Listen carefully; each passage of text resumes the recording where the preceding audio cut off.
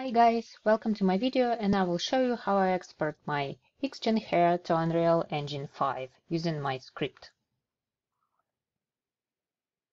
First of all, let me show you how official documentation of Unreal Engine describes this process.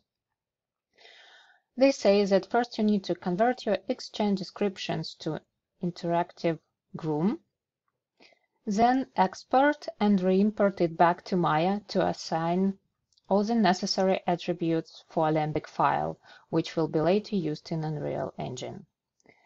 What my script does, it's actually uh, consists of the buttons which replicate all the steps described in Unreal Engine's documentation and automates the process. To start the script, just go over to the script editor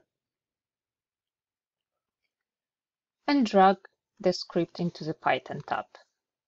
Select everything and press the play button.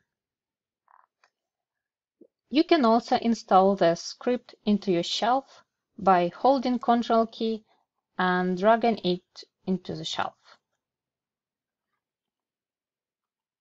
To use this script, first select the uh, head mesh of your character. I'm using metahuman's head, this one, to assign the UV roots attributes to your groom. Select the descriptions. Script automatically detects the XGen descriptions that you have in your file and converts them to interactives groom. The next step is to rebuild our interactive groom. It smoothes the hair spline without adding additional CV points.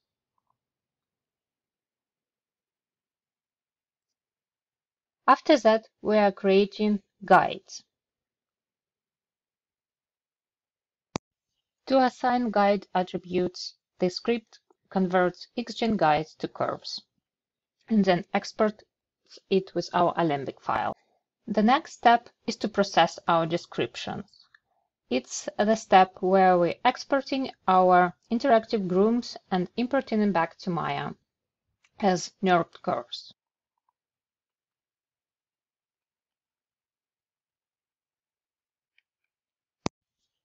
As you can see, after some time, uh, we imported back our groom as NURB curves, and now we're ready to assign UV attributes. The next step is to assign groups to our groom.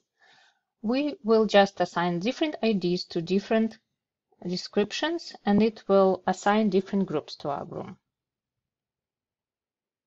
And we are ready to do the final export. Now let's bring our groom to Unreal Engine 5. Please first make sure that you have these plugins installed, which is Alembic Groom Importer and Groom. Now just bring your Groom into the Unreal Engine. Depending on your Maya scene settings, you uh, would need to apply transform values for your Groom during the import process. These are my values, you can copy it and test for yourself. The next thing what we should do is to create the binding for a groom. Right-click on the Groom asset and create binding. Select the face mesh of your MetaHuman and push Create. And save. Now we will assign this, our custom groom, to our MetaHuman. Just go to the hair component and plug our new groom and its binding asset to our MetaHuman. And press compile and save. You can also change the material for your groom by assigning it here. Let me quickly show the settings for our Groom asset.